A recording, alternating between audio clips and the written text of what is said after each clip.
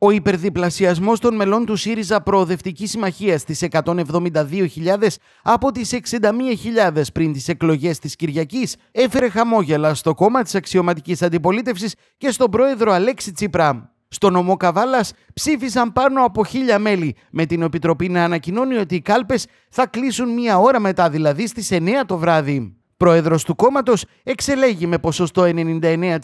Αλέξης Τσίπρας, ο οποίος ήταν και μοναδικός υποψήφιος. Θέλω να σε ευχαριστήσω όλους και όλες για τη σημερινή γιορτή της συμμετοχής στη γιορτή της Δημοκρατίας. Νομίζω ότι σήμερα κάναμε ένα μεγάλο, ένα σπουδαίο, ένα αποφασιστικό βήμα για να ξαναφέρουμε την ελπίδα πίσω στον τόπο μας, στην πατρίδα μας και το έχει ανάγκη. Σε μια εκλογική διαδικασία την οποία διοργανώσαμε, τα πάντα πήγαν καλά και γι' αυτό οφείλω να ευχαριστήσω όλους αυτούς που δούλεψαν ε, για να πάει καλά η εκλογική διαδικασία. Ήρθε, ο, ήρθαν οι πολίτες, τίμησαν ε, ε, την επιλογή του ΣΥΡΙΖΑ να, κάνει, να ανοίξει τις διαδικασίες για την εκλογή του Προέδρου και της Κεντρικής Επιτροπής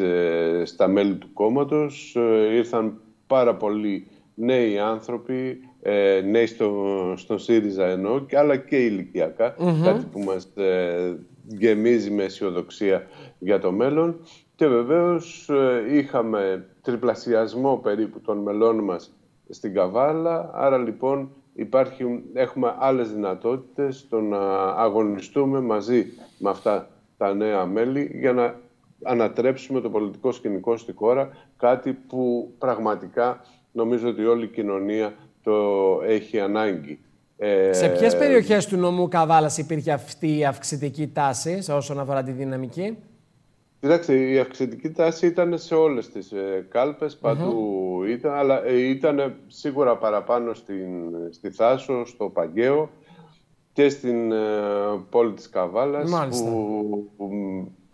το ένα τμήμα δηλαδή, αυτό του διοικητηρίου είχε πάρα πολύ καλά αποτελέσματα. Κοιτάξτε, το, το είπε και ο πρόεδρος ναι. ότι γίναμε κυβέρνηση, κερδίσαμε δύο εκλογικές διαδικασίες με 30.000 μέλη. Άρα λοιπόν τώρα που είμαστε 170.000 έχουμε πολύ περισσότερη ε, δύναμη και δυνατότητες να κυνηγήσουμε την, ε, ε τη, την κάλπη, τις εκλογές και να πάρουμε την νίκη γιατί για μας είναι πάρα πολύ σημαντικό να πάρουμε την νίκη στις επόμενες εκλογές που είναι η, η απλή αναλογική, να είναι πρώτο κόμμα ο ΣΥΡΙΖΑ για να μπορέσουμε να ε, προχωρήσουμε σε αυτό που σχεδιάζουμε, σε αυτό που λέμε εδώ και ε, τα τελευταία χρόνια, το να υπάρξει δηλαδή μια, προοδευτική, μια κυβέρνηση σε προοδευτική κατεύθυνση στη χώρα για να μπορέσουν να γίνουν οι, οι απαραίτητες αλλαγές ε, σε σημεία και σε τομείς